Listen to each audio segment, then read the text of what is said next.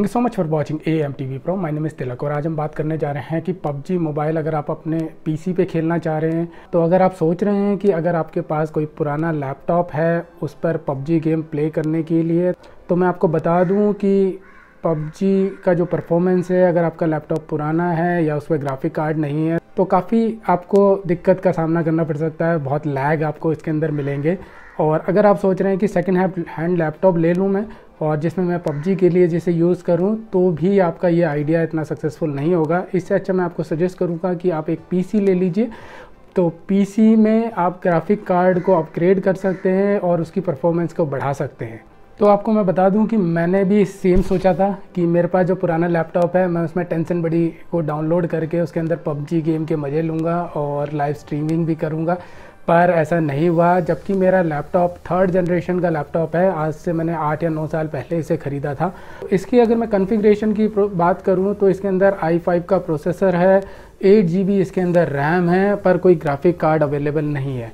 तो आपसे मैं रिक्वेस्ट करूँगा, जो भी पुराना लैपटॉप लेने की सोच रहे हैं अंडर दस हज़ार से बारह हज़ार के बीच में नेरोप्लेस या नॉर्मल लैपटॉप की शॉप्स पे ये सेकेंड हैंड लैपटॉप मिल जाते हैं। इसके अंदर आप गेमिंग पर्पज़ के लिए लेना चाहें तो आप रुक जाइए और आप एक पीसी की तरफ़ जाइए।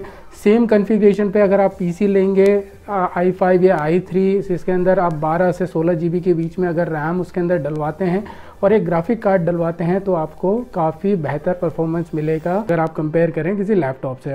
अगर आप पीसी को असेंबल कराते हैं तो आपको 10 से बीस हज़ार के बीच में गेमिंग पीसी असेंबल हो जाएगा।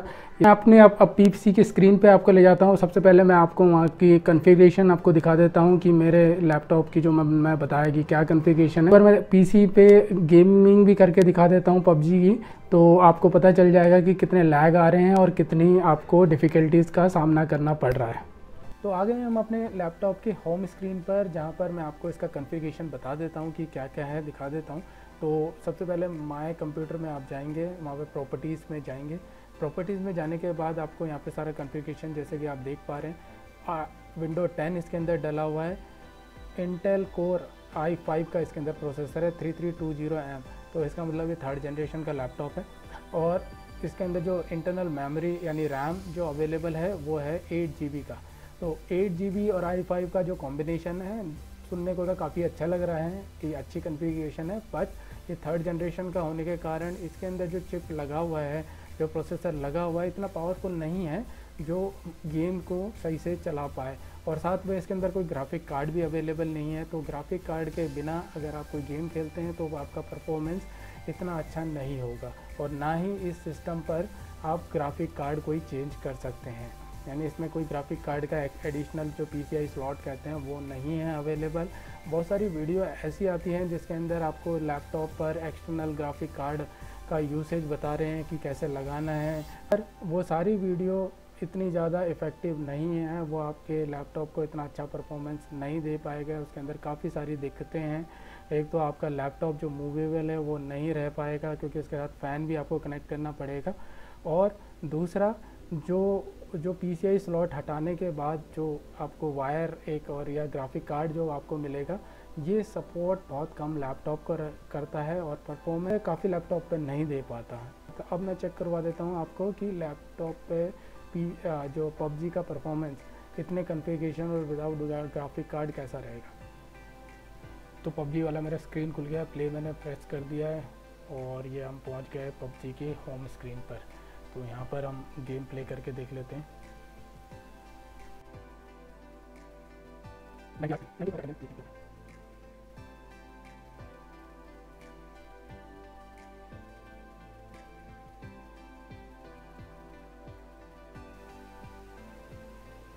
आप देख रहे हैं काफ़ी टाइम ले रहा है। इसका मेरा फ़ैन भी काफ़ी तेज़ चलने लग गया है और हीट जैसे मैं चेक कर पा रहा हूँ हीट भी होने लग गया मेरे लैपटॉप तो फिर भी चलाते हैं, देखते हैं क्या ये देता है।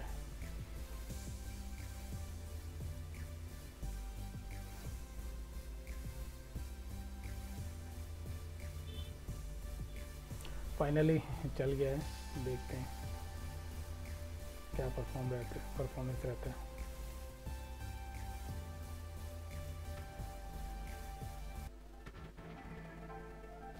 जैसे कि आप देख ही रहे हैं, काफ़ी टाइम लगा रहा है इसको ओपन करने में भी, जबकि मैं अपने आईपैड पे जब ये खेलता हूँ तो कुछ ही सेकेंड्स में मैं गेम के अंदर होता हूँ। अभी मेरी होम स्क्रीन भी अभी तक नहीं आई है।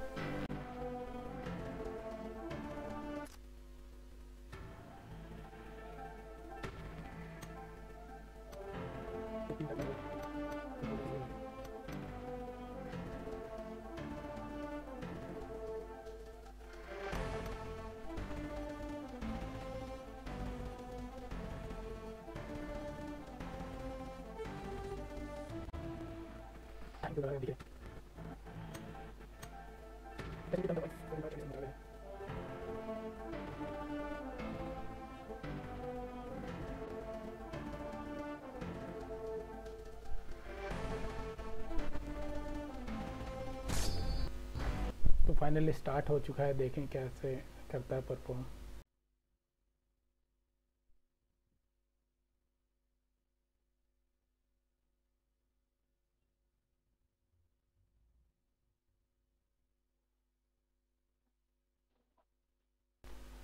कनेक्शन सर्वर लॉस्ट इसने बता दिया चेक हाँ कनेक्शन जबकि मेरा इंटरनेट बिल्कुल सही चल रहा है बाकी मैं मोबाइल पे चेक कर रहा हूँ तो मेरा इंटरनेट काफ़ी सही चल रहा है। तो दोबारा ये स्टार्ट हो गया। तो आप देख सकते हैं कि परफॉर्मेंस वाइज यह बहुत ही लो परफॉर्म कर रहा है।